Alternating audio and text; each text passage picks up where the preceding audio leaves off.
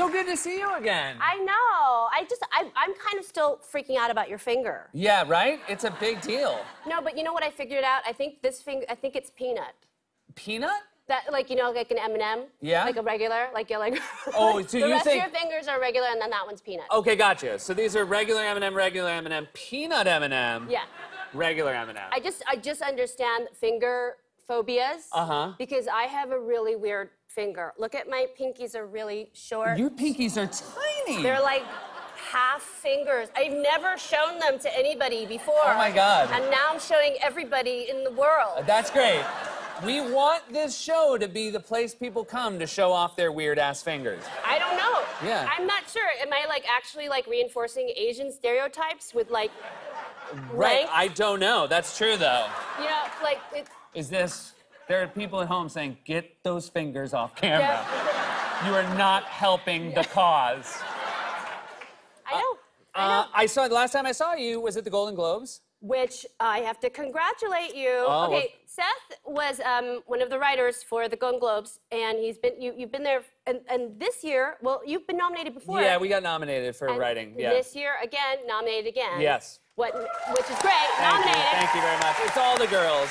It's the girl. Well, what's great is that you are a star, just like Tina and Amy. I mean, you are a star, but you are there in service to them, writing jokes for them, Mm-hmm. which is incredible. I mean, I'd never seen a star do that, so I was excited. So I was part of the writing staff too, but I was a secret. I was kind of a plant. Yes. Tina had like invited me to come, and we didn't really know what was going to happen. So, and, but anytime like Tina Fey asks you to do something, you're like, yes. Yeah, you show up. Um, and so I, I was there, and uh, so I played a North Korean general. there you go. You're there. there you are is, right and, there. uh, uh, I was representing North Korea because North Korea wanted to be part of the Golden Globes. Yeah, you were the Hollywood Foreign Press representative from North Korea. Yes.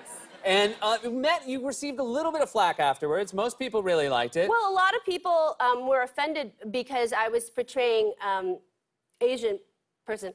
And so that was offensive. I don't know, but you know what it was? It was a lot of white people got really offended. They Yeah. were like, "How dare you portray a Korean?" Angry, and I was like, "I'm, I'm sorry." I, I didn't know what else to say. But then a lot of it came, a lot of it came from England, and it's like you know, like there's, it, it's white, white people, you know, Yeah. in England, I mean, it's like England is like wh- where white people begin the whitening process. Yeah. So they're as white as it gets. So they Yeah. were really offended by it. But I don't know. I think what it is is that white people like to tell Asian people how to feel about race because they're too scared to tell black people. right. Okay, gotcha. Right? That makes a lot of sense. I think so. Yeah.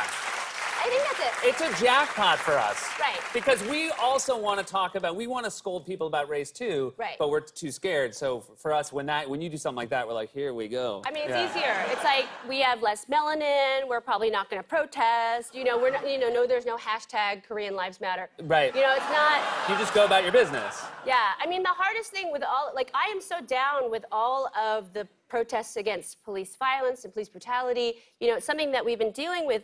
It's not just Eric Garner, it's not just Baltimore. It's, for me, it goes back to Amadou Diallo and Rodney King. But whenever white and black people fight, Asians and Mexicans don't know what to do. Yeah. You know, because we're like, um, are we white? we just want to be on the winning side. Right, sure.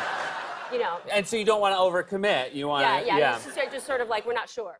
yeah.